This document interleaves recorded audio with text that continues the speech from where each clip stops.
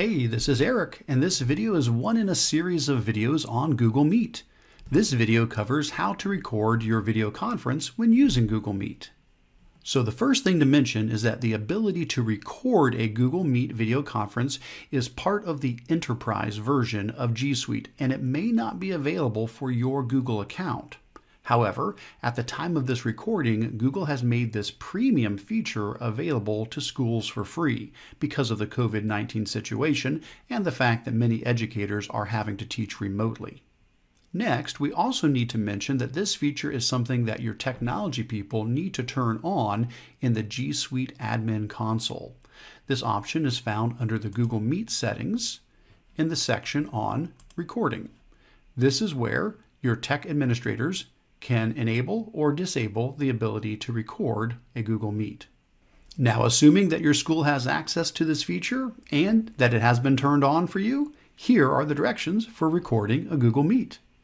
First, start up a Google Meet as usual. Be sure to see the other videos in this series for all the details on how to start a meet, invite people to the meet, and the basic features of using Google Meet. Now, you do not have to invite anyone else to the meet if you simply want to record yourself, such as giving a presentation or teaching a lesson for others to view later. However, if you do have other people join you in the meet, be sure to let them know that the meeting is going to be recorded.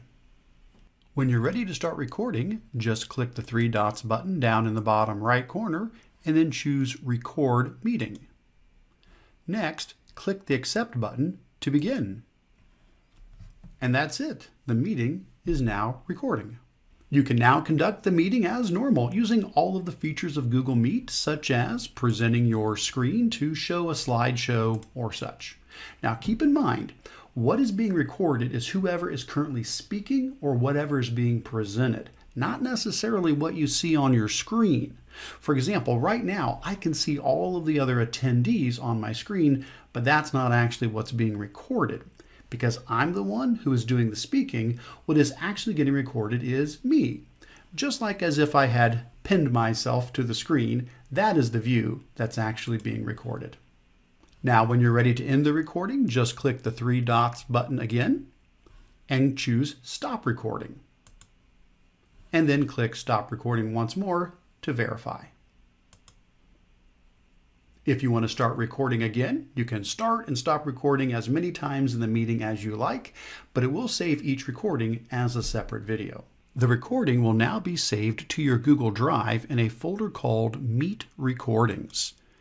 It will take a little while for the recording to show up here as Google does need to process the video first. So if you do not see the video right away, check back a little later. You will also receive an email with the link to access and play the video. Also, if you created the meet through Google Calendar, then a link to the recording will be added to the calendar event so that anyone who is invited to the event will also have access to the link of the recorded video. If you use Google Classroom, it is super easy to share the recorded video with your class. Just go to Classroom and then start a new post in the stream or on the classwork page, such as an assignment or a material. In this case, we'll post a new post to the stream. We'll click in the stream to start our post. And then we'll click the Add button below the post and choose Google Drive because that's where the videos are being saved from Google Meet. Now you should see your video in the recent files, but if not, you can choose My Drive and then open the folder called Meet Recordings to locate the video from your Google Meet. Select the video and click Add, and then finally click the Post button. Now your students will have access to view the video in Google Classroom. In addition to Google Classroom, there are many other ways to share your video. One of the easiest ways to do this is to share the video from your Google Drive just like you would share a regular Google Doc go to your drive, go to the Meet Recordings folder, and locate the video. You can now right click on the video and choose Share, or you can simply select the video and then go up to the Sharing button in the top menu bar. You can now share the video with specific people by putting their email address or a Google Group email address into the People box. Or if you want anyone to be able to view the video, then click Get Shareable Link.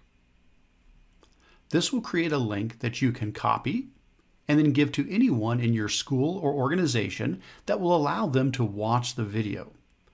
Now, if you want people outside of your school to be able to see the video, click on the drop-down menu and choose More. You can now select the option for anyone with the link and then click Save. Now you can copy the link and provide it to anyone in the world and they will be able to watch the video. You can now take the copied link and share it in many ways, including in a Google Doc or through email, on your blog or website, on social media, in Google Classroom, with a URL shortener like bit.ly, with a QR code, or many more options. Finally, if you want, you can also download a copy of the video to your computer by right-clicking on the video and choosing Download, or by selecting the video, going up to the three dots button in Google Drive, and choosing Download. So those are the basics for how to record your video conference when using Google Meet.